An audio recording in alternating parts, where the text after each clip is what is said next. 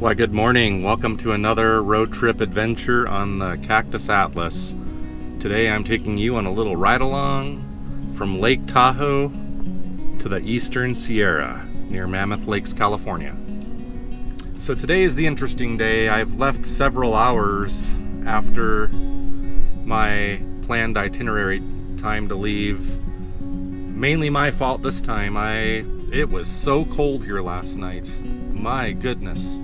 I have a sleeping bag rated for 30 degrees, and I think it was originally my trip was planned to be like in the low 40s, but it definitely got in the 30s last night. I don't know how far down, but my I think it was pushing the limits of my sleeping bag. I could feel cold starting to poke through. So when my alarm went off, when it was still dark, and I was supposed to be packing up my tent, I said, uh-uh hit snooze and just not really because I was tired, but I was too cold. And then I fell asleep. And then I woke up and I must have needed the sleep, but we're a little bit behind. No worries though, because I think my itinerary today, my arrival time was early, so it's all gonna work out. Right now, heading south, the sun is really in the worst, one of the worst possible places it could be. It's right off camera up on the top, so I'm driving right into the sun all my fault for leaving late. I take the blame. We're driving down Lake Tahoe Boulevard now. seeing all of the businesses and I guess the more touristy areas. A lot of lodges, restaurants. When I had previously thought of Lake Tahoe, like this is the kind of stuff I always had in mind. I stereotype a lot and just say, oh, I don't want to go there. There's gambling and partying rich people. I don't fit in with any of those. So it's like, where do I go? And when I was doing research, I realized the California side is uh, all in the woods, so now you see how I work. And this appears to be, I guess, the big party spot. I see a Harrah's Casino. I see some other kind of casino. Harvey's? Is that a casino? Get me the hell out of here, please today hopefully should be a lot of good views from the car too as we eventually are driving down 395 along the eastern Sierra Nevada mountains the whole way. Which I guess are these part of the eastern Sierra? I know I've been in a lot of regions where regions meet, like the Great Basin. Lassen was where the Great Basin, the Cascades and the Sierra kind of all meet in that general vicinity, if I remember something I read correctly. So I'm I'm not I'm gonna if I had to guess, this is part of the Eastern Sierra that we're currently in here. Now, how my ears have not popped yet is a very strange thing. I usually get a lot of ear popping when we do these very abrupt elevation changes, so my ears have not popped yet.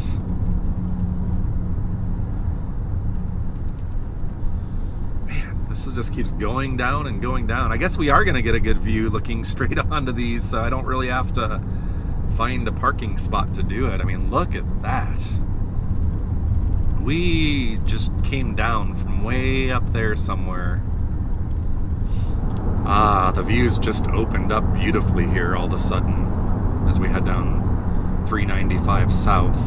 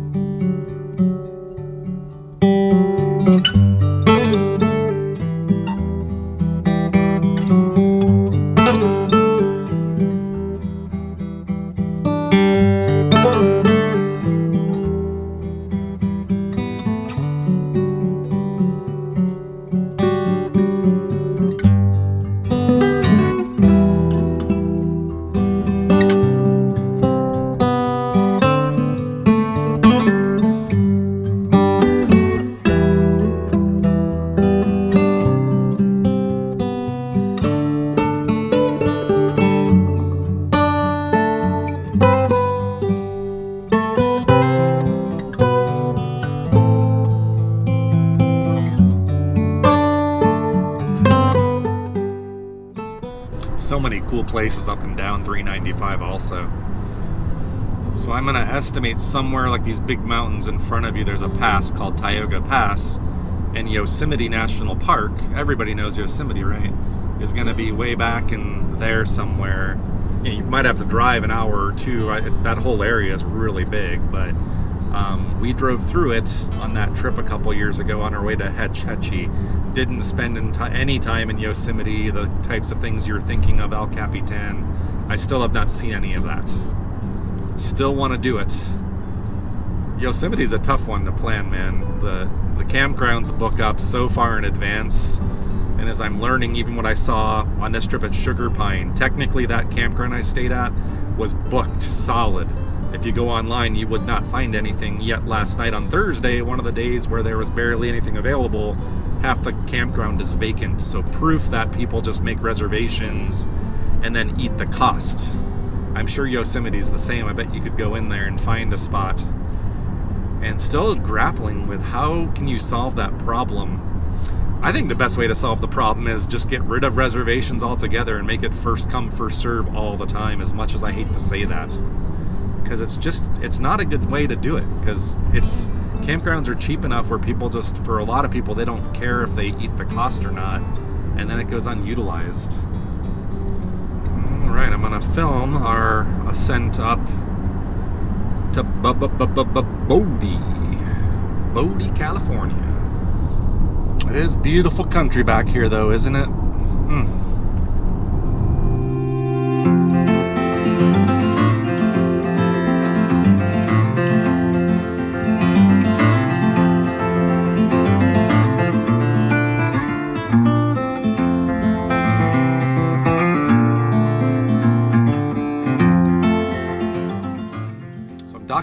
This, there's this little pull-off where if you have a trailer or something, you can detach it here in this lot. But three miles, the last three miles are up this gravel road. It says rough road. I'll be the judge of that. This is not a rough road. Come on. now that I'm off-roading a lot more, I'll tell you what I think. This is a very, to me, this is a very well-maintained, smooth road, to be honest. I would not call this rough today. Maybe it is at different times, but you could see where it goes up that ways. 15 miles an hour. You're going to get your first look at Bodie actually from right here. You could see tailings, waste rock piles off on the horizon. That's where the big mill is, I think. And I do see a lot of old buildings already. Uh, but you really can't see, I think, the whole town until we get closer to see the scale of what I'm talking about here. But that certainly is Bodie up ahead. You can see how much they mine too. There's lots of waste rock piles over here. So I don't recall this from last time, but they offer you for $3 extra a self-guided tour booklet. So if you want to know what all these buildings are and stuff, you want that, trust me. Because even last time they didn't, I didn't get that last time. They didn't offer me that last time. And I don't think I found anything. I remember walking around and there's no, let's see, how's internet looking? Zero internet. So you can't really rely on, rely on internet for facts on the fly. But today is just a quick tour. I plan on walking down like to the main street, show you some of my favorite sites, and then we gotta hit the road. Um, one of these days though, you better believe it, we'll be doing that deep historic narrative that I crave to do in places like this. Maybe when I retire one day and have time.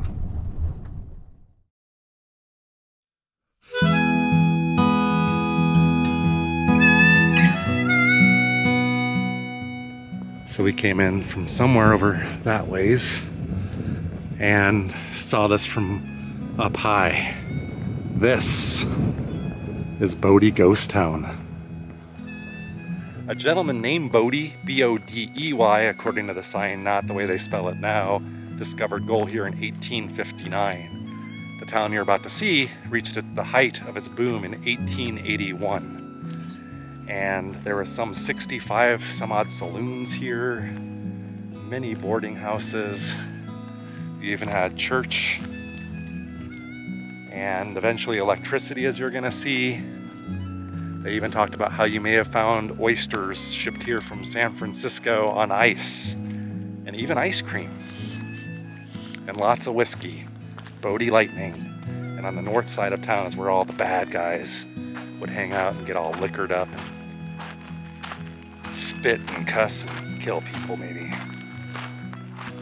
Well, here it is, folks. The beginning of the tour, and there's so many streets you can go in. And this church, if I recall, is an 1800s relic.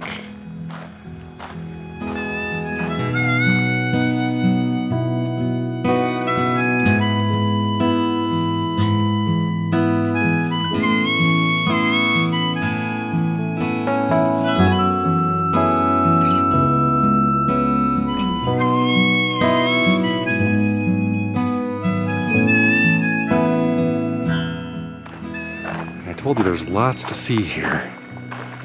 It's almost unbelievable. But there's a street down here. I'm gonna show you my favorite building to date. When we get down there, I see it. I don't know if you guys can spot it. So this may have been the main drag or one of the main drags in the town. And just look at how these things are preserved in the mill up there. And that, that wasn't here last time, I don't think. But still, you could go window shopping right now, over a hundred years later. Look in these places. I mean, this is fantastic.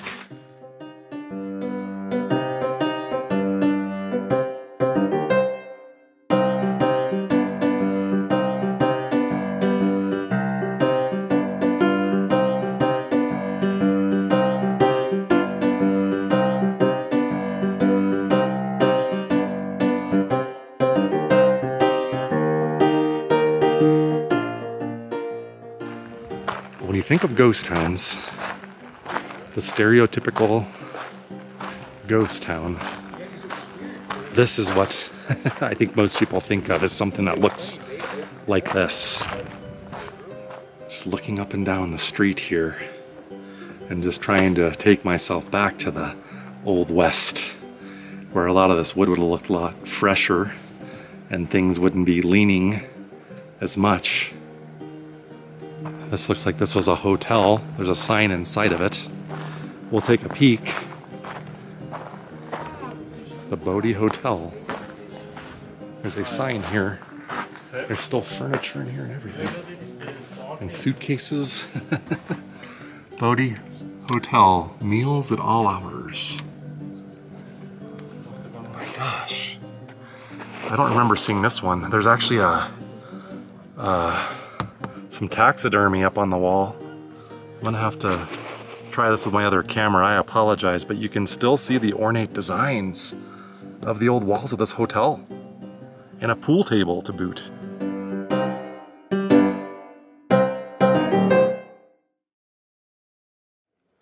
Before I reveal my favorite, favorite building, I want to show you a cool one over here that I like too. I mean, I like everything here. I mean, don't get me wrong. Um, but yeah, last time I know we walked up this road up that ways, but I was not able to do any of that. I think they do a tour of the mill. They were last time. I never got to explore any of that. And there's a section over here that I really didn't get to explore at all. I think I came about this far to see this old firehouse. I mean, isn't this a beautiful specimen?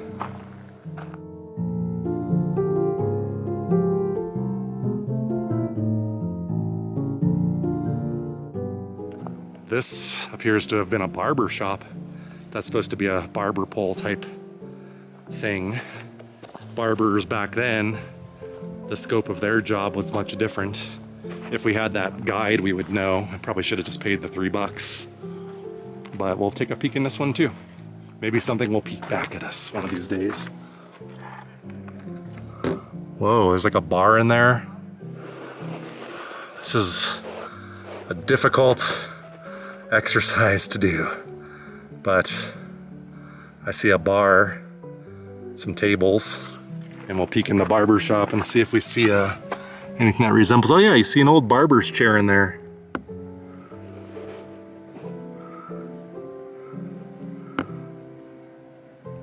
And as most of you probably know, barbers back in the olden times, the scope of their work was more than just cutting hair. I think they were there to tend to minor wounds. I've heard maybe even pulling painful teeth out of people's mouths. Kind of a multi-purpose job. Almost not quite a doctor, but I guess someone to take care of common things like that. I recall these, this trio or maybe four buildings and the brick one down here are among the faves for sure. You even see like the old curtains and tatters. Isn't it just amazing how everything's still in there like that? I'd like to know the story of that. How did so much get left here? Or did they come back retroactively and find old drapes and then rehang them, or were they literally just left like that to the ages?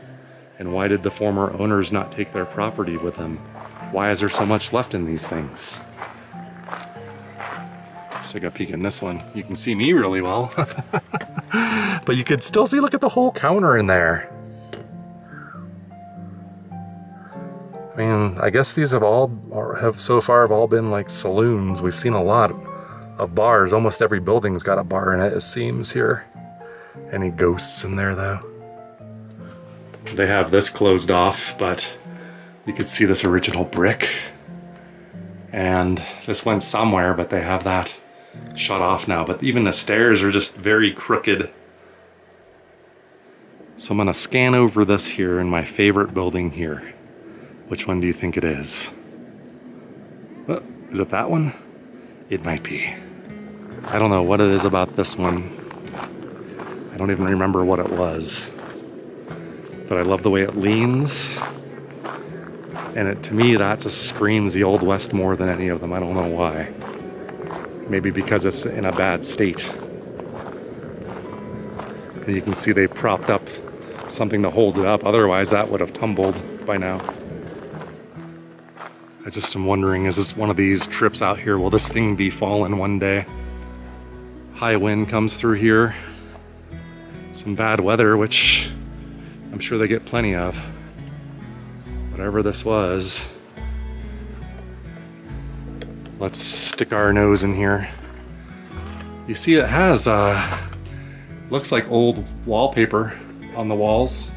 Some kind of fabric and I see a bed back there. Makes me think that this was would be like a residence or a boarding house of some sort or a small hotel here in this busy district, but I could absolutely be wrong. But look at all of the uh, interior supporting they're doing. This thing's got lots of support beams in it, which I am a fan of. I would rather see this stand the test of time. Even if they had to give it even more TLC than this, I would be a buyer because I don't want to see this ever go away.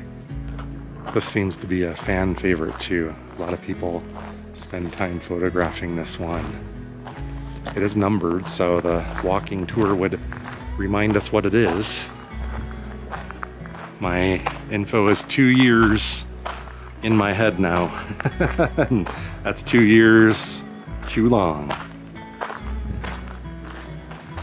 I do remember this building as a schoolhouse, and if you look in here, there's still stuff in here from, I think, school desks and things for the students still. And old Halloween decorations. Look, that looks really ancient. Amy would love that.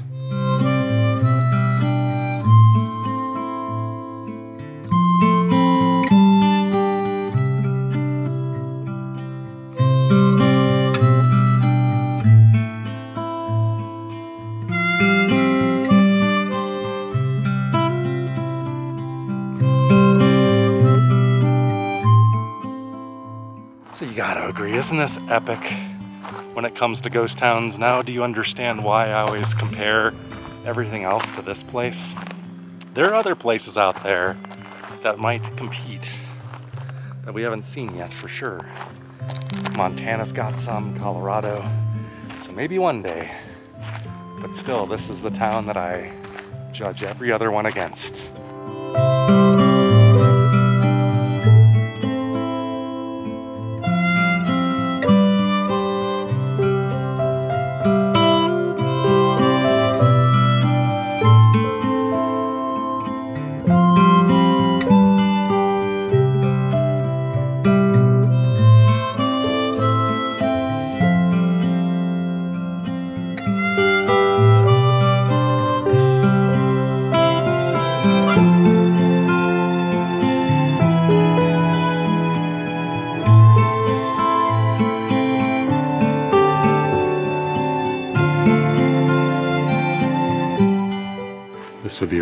Do if we had more time.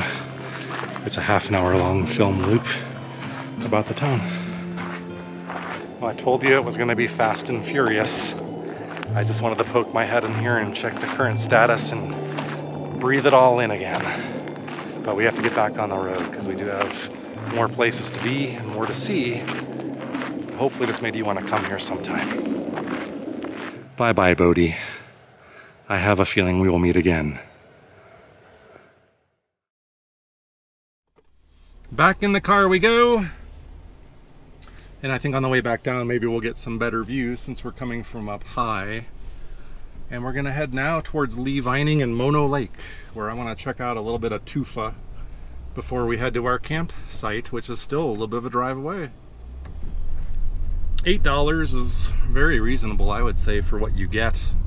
It's one of the few times where I would pay, say I'd pay more for this than eight bucks.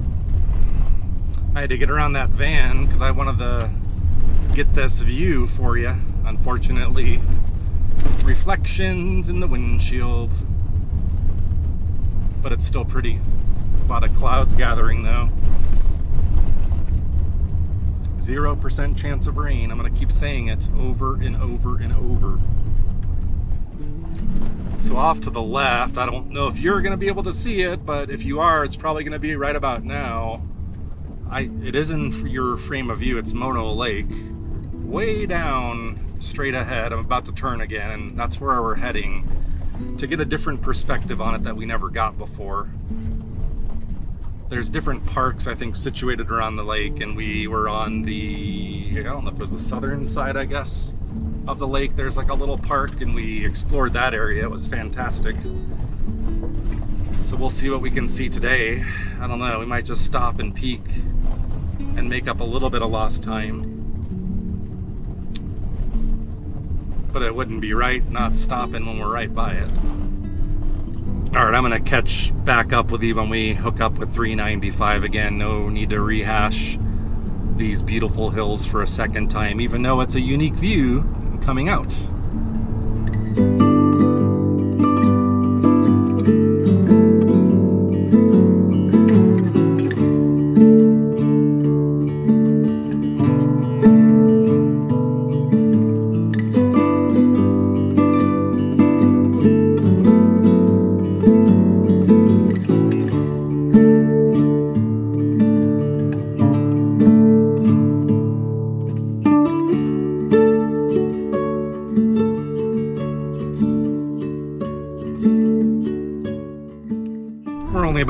15 minutes away from Mono Lake.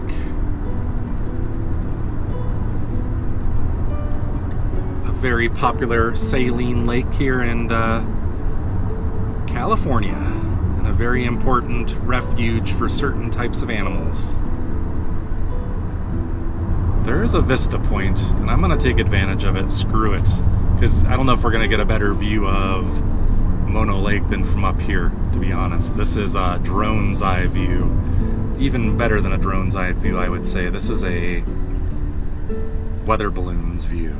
I don't know, I'm just making crap up now. You see that? That's what I'm talking about. I'm gonna call this the $2 million view. Maybe $1.5 million because of all the road noise but better than a 1 million.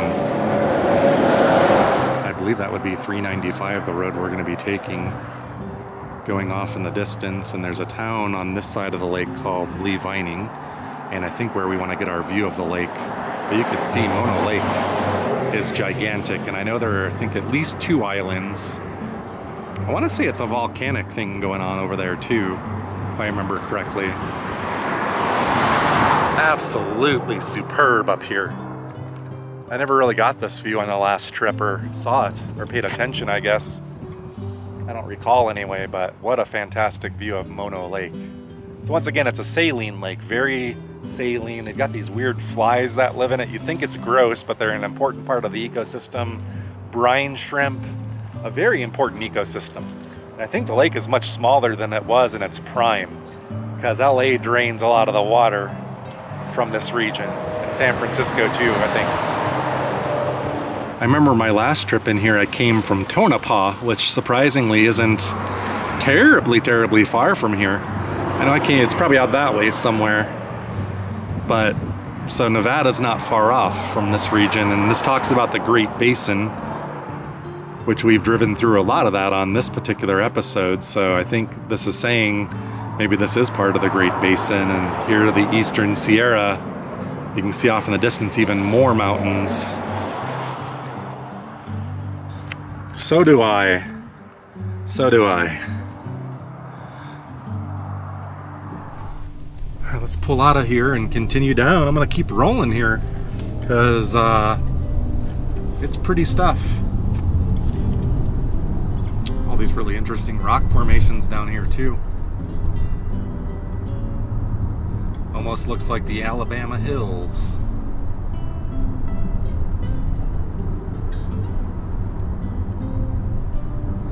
Like you're coming down out of the sky, because you kind of are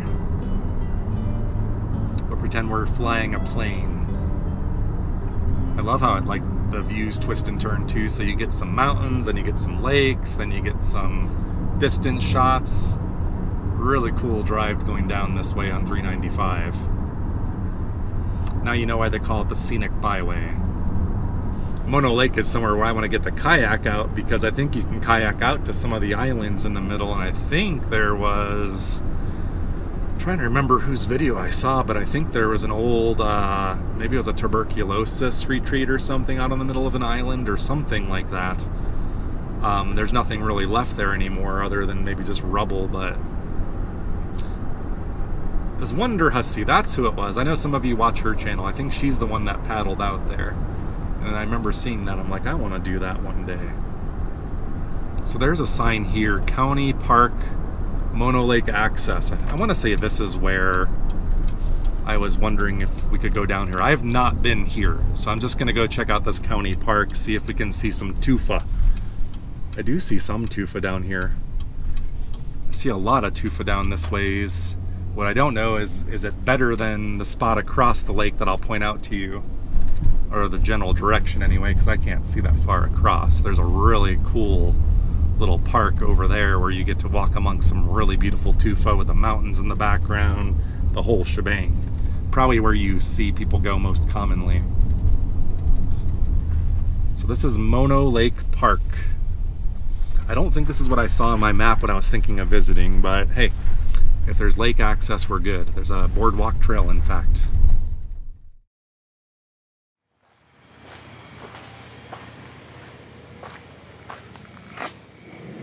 Nice peaceful crickety. You hear the little crickets?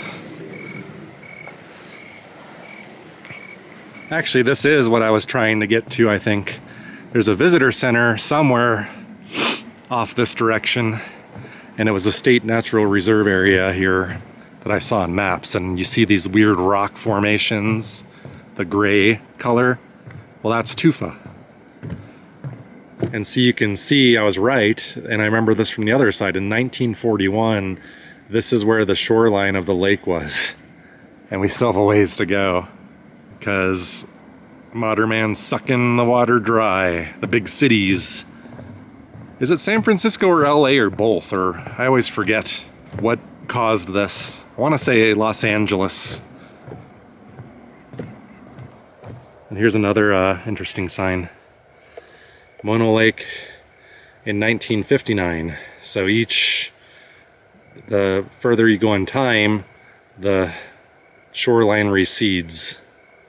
Ah, Look at that.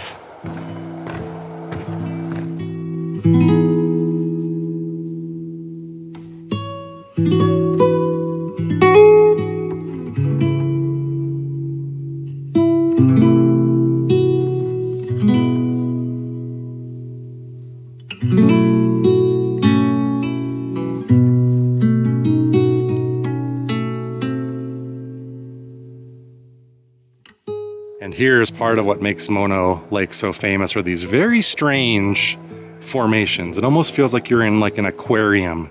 And these are like aquarium rocks or something like that. Or a, you're like, we're like in a, under the sea in a coral area. a coral forest. Oh, I didn't realize it just ended here. I thought we were to get to go down the shore. Well, this is kind of a small dud. Although this is a really good area to probably watch birds in. You don't really get to get up close to the tufa like you do on the other side. So I would make a declaration right here and now. The other side is much better when it comes to walking around the tufa because there's really crazy formations. You got things out on the lake like that too, but what you don't have over there is all this kind of uh, habitat for birds. I don't remember any of that. And apparently the lake not that long ago would have come up here. And they're trying to get the elevations back up, but then you combine it with drought. And yeah, just the shoreline keeps getting further and further away. That's fun. It's like, why are you not down at the lake? Well, because the lake keeps receding. You could see though how many ducks and birds are out there because it is a refuge for them. And just out there doing their birding business and there's like a whole ecosystem that lives in here with shrimp and fly, these flies that live here that you could see in the water. It's kind of freaky but cool. And then tufa. And tufa, just a quick thing is if I remember correctly, it's basically fossilized springs. So at some point this would have been underwater and springs would bubble up and I think it's calcium carbonate, the mineralization in the spring, you know, bubbling up over time builds up. Kind of thinking, is it like hard water in a house and hard water minerals? Maybe not too far off, but you see these towers on the landscape here. Um, that is tufa and you're, and that's what you're seeing. Unfortunately, the tufa here is pretty lame compared to the other side, if I'm being honest. So when you come here, I'm thinking we're, we're facing south, so I'm guessing that's the southern end of the lake. And we're and that's 395, so if we go this way, the direction we're going is south. So I'm gonna say like the southern end of the lake, or you know, that's where the better spot is, and there's an official park over there. So that's where I recommend you do your Mono Lake visit. If you're a bird watcher though, then this side might be the one that you want. If you want to look at ducks and cattails and all these reeds and stuff, if that's your deal, then yeah, maybe this is the side you want. So seeing it from up above, seeing it from here, hearing the tales of what's on the other side is something you're interested in, you want to see more. We did a whole video on uh, this uh, Mono Lake on the other side, devoted a whole episode to it. So feel free to check that out. We'll put a link down below to that one too. But if you really want to see Tufa, if you really want to know what I'm talking about and why it's so magical, check that other one out. And now, Mono Lake, Tufa, not the best over here, no, no offense. We got to get going. It's starting to get cloudy and chilly too. See, I told you, it's either hot or cold, nothing in between. All right, back to 395 we go by Mono Lake County Park. You're okay. I think we're gonna drive up here through Lee Vining, pick up any supplies I need, some gas, and then we just got about an hour to go. So I estimate we're gonna get there between 5 and 5.30 p.m. See those really big mountains, the Sierra Nevada off to the right. Still snow-capped, and somewhere out that ways is Mount Whitney, California's highest peak haven't really looked at how we're getting home or if I'm even filming on my return day trip. It's possible maybe we can get a peek at it depending on what I end up doing. We're coming up on the Mammoth Lakes area and that's the area I'm going to be exploring heavily tomorrow. Really, that's my only main day to try to knock out a couple things in that area. Never been there. That'll be a first. And my camping area is probably south of Mammoth Lakes because we're going further than the turn to get to Mammoth Lakes by a little bit. We're about 30 minutes away from the campground. It's called the East Fork Campground. I think, yeah, I was able to reserve it on recreation.gov. Another campsite that barely had any reservations. Anything in this area, even now, especially on the weekend, I was having a challenge finding any availability, especially for two consecutive nights when I pull in there and I start exploring it, let's see how many people actually show up and how much vacancy there actually is. I'm gonna I'm gonna look at that carefully on this one.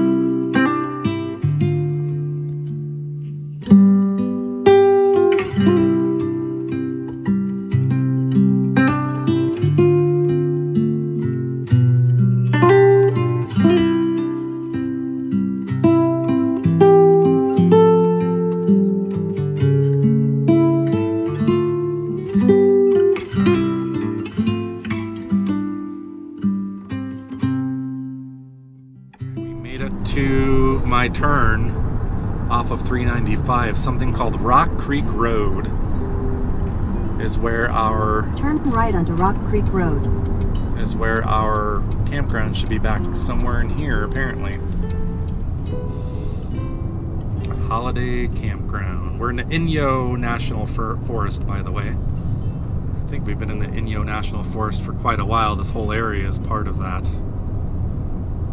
Trying to think of things we've done near here. Bishop, California is not far, and we did these this hike in that area up to these uh, bristlecone pines that are thousands of years old. I really enjoyed that episode too. That's another thing in this region that not going to be doing this time. There's more trails that I want to do in that area, but I thought that was a cool video. Maybe trees are boring to you, but if you want to see trees older than Jesus Christ, you can uh, see them there. Ooh, and I'm seeing lots of snow on these mountains back here. Brrr. Here I am at East Fork Campground. We just arrived. The tail end of our road trip here, where it's supposed to be, but I'm kind of having some second thoughts already. I kind of love the campground, but I kind of don't like the way they designed it. It's kind of weird. I'll show you my site really quick. I do have it reserved. My name's on the post, so it's all good. We're in this valley up in the Sierra Nevada. And um, let me show you what a fully booked campsite looks like. I mean, there's virtually nobody here, so there's no way you can tell me that this site, this whole campground is booked. Yet, if you went to recreation.gov, that is what you would see. Why I find that reservation system so problematic, because I knew this would happen. And it's kind of upsetting because there are better campsites than what I ended up getting. Let me show you this here and why I'm having second thoughts. There's two reasons why I'm having second thoughts. So my campsite, it wasn't labeled as a walk-in, but I'm telling you it, it is. really loose thing. I've got some pretty heavy stuff. My cot, you know, a few other things I could manage and get by. But I'm down here actually, or I assume this is me down here, hidden away. Kind of like it, but I kind of don't. What I really don't like though is this is a very slanted site. You see that? So after sleeping, you know, camping, gosh, has it been seven days straight now? That part's not that hard. That's that's pretty easy. Just, but I'm tired too because I film all day long. This just isn't looking appealing at this moment. The second problem I have is it is freezing cold already. It's only just pushing five and I have a hard time believe it's just gonna dip into the 30s tonight. I mean, there's no way. My hands are starting to feel a little numb already up here. So here's where I'm at in my thinking. I walked around a little bit. I used the restroom. I can tell you the restrooms are fantastically beautiful. Running running water, flushing toilets, a sink, at least two. I don't know if there's two more on the other side. Huge. Like they look brand new. So very positive review there. Just a wonky campsite. It's like you can see I'm even kind of, I don't know, the GoPro levels itself, so you probably can't see it, but I'm on a slant, kind of. And then the campgrounds, like I was confused because I would just see these small parking spots for cars and nowhere to put a tent. Well, each site, the way it's designed, is kind of like mine, where you have this little trail. I mean, not like 20 feet, 15 feet, we'll say, um, that I'd have to walk down. But really, the thing that's uh, the deal breaker is the slant of that hill and the size of my tent. I can't get it, you know, there's nowhere to put my tent basically that's not, you know, gonna work. It's either gonna be really slanted in one spot or it's gonna be level for half of it and then the other half of the tent's gonna be on a slant. Very awkward and weird. I sound like a prima donna, I know, but um, I've been going at it hard for the last few days. So I have an idea. I'm gonna give myself a break this time, this one time. Maybe I'll peek at some of the other campgrounds. I wanted to camp at Convict Lake, but that was booked up. How much you want to bet if I drive up the road and turn in there, like it'll be half vacant? Maybe I could find a site on the fly. I did see some that were open, but most of them do have reserved signs on them. But I guess this is your campground review right here, and why we're getting one less one out of this trip.